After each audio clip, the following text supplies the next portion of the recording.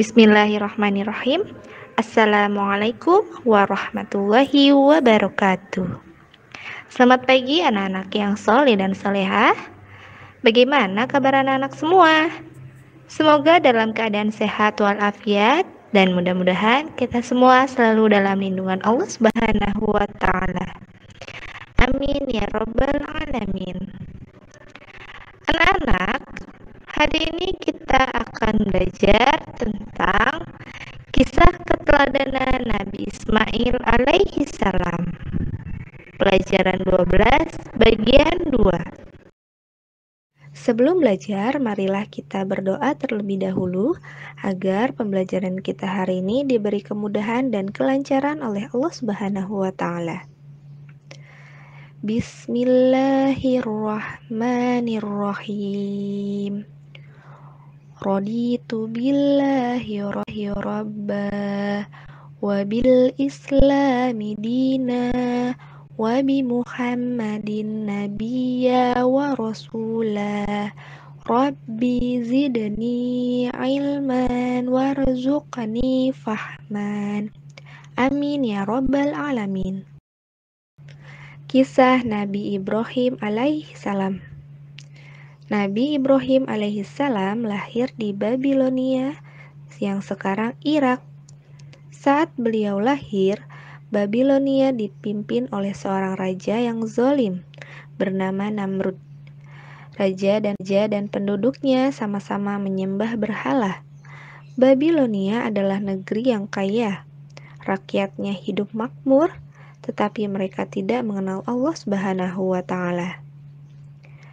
Ayah Nabi Ibrahim bernama Azar bin Nahur. Nabi Ibrahim alaihissalam sejak sejak kecil hidup di lingkungan yang penuh kemusyrikan dan kekufuran. Dia dibesarkan oleh ayahnya yang tak seiman dengannya. Ayah Nabi Ibrahim alaihissalam ahli dalam memahat patung, dan patung-patung itulah yang dijadikan sesembahan. Ayah Nabi Ibrahim menyuruh Nabi Ibrahim untuk menjual patung-patung itu. Namun, Berkat bimbingan Allah Subhanahu wa taala, Nabi Ibrahim dengan halus menolak perintah ayahnya.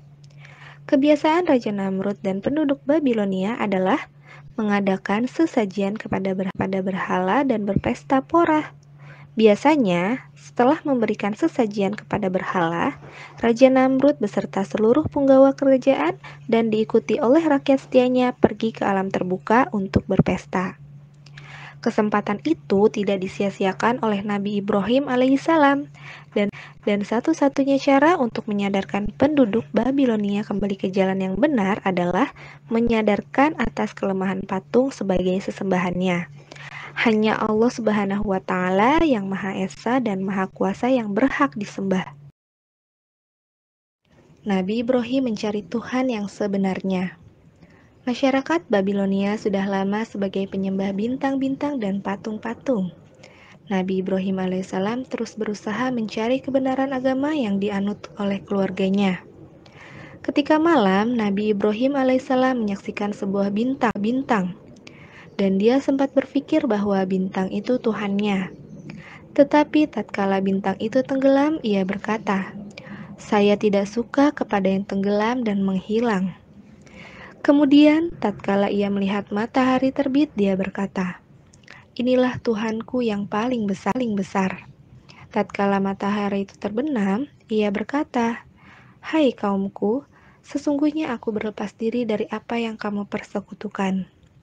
Sesungguhnya aku menghadapkan diriku kepada Rob yang menciptakan langit dan bumi. Inilah yang dianugerahkan Allah Subhanahu wa taala kepada pada Nabi Ibrahim alaihissalam dalam menolak agama yang dipercayai kaumnya serta menerima Tuhan yang sebenarnya. Dalam Al-Quran Surah Al-Baqarah ayat 260 dijelaskan bahwa Nabi Ibrahim alaihissalam berdoa kepada Allah Subhanahu wa Ta'ala, memohon supaya diperkenankan melihat kekuasaannya. Dan ingatlah ketika Ibrahim berkata, Ya Tuhanku, ku, perlihatkanlah kepadaku bagaimana engkau menghidupkan orang-orang mati. Allah berfirman, Belum yakinkah kamu?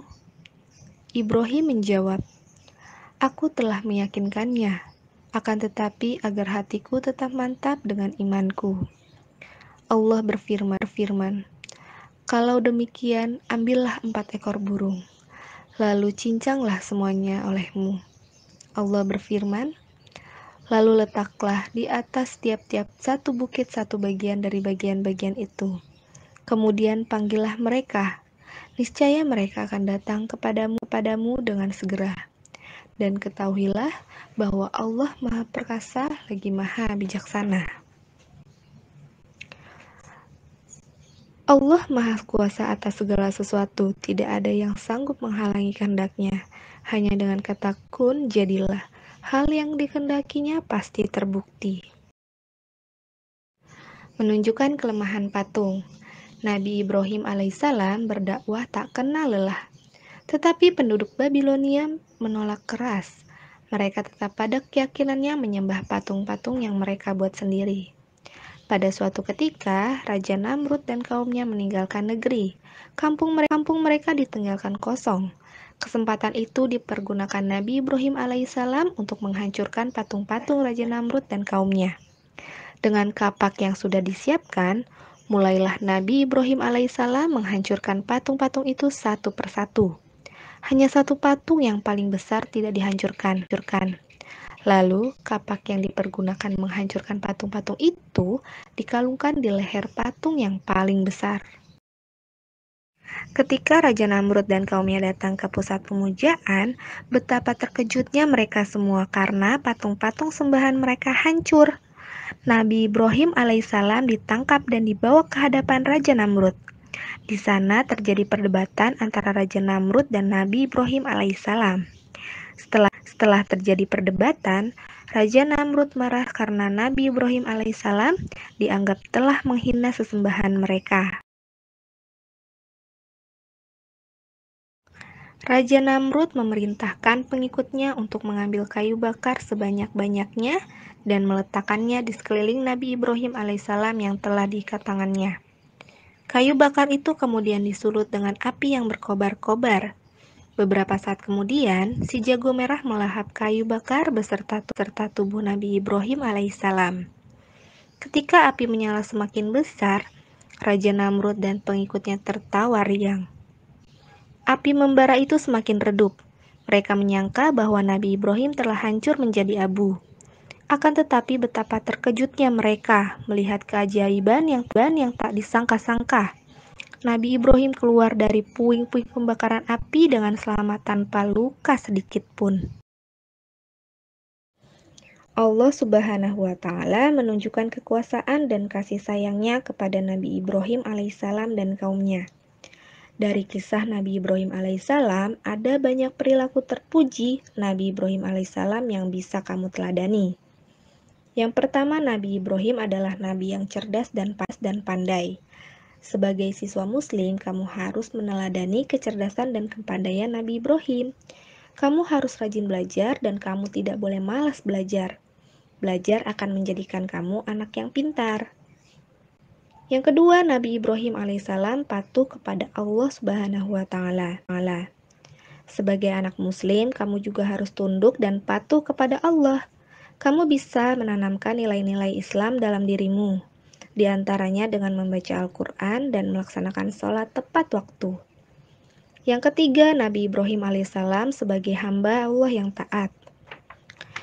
Sebagai anak muslim, kamu harus dapat meneladani perilaku Nabi Ibrahim alaihissalam. Bagaimanapun beratnya perintah Allah itu, kamu harus melaksanakannya. Di balik perintah Allah itu pasti terkandung hikmah yang luar biasa besarnya.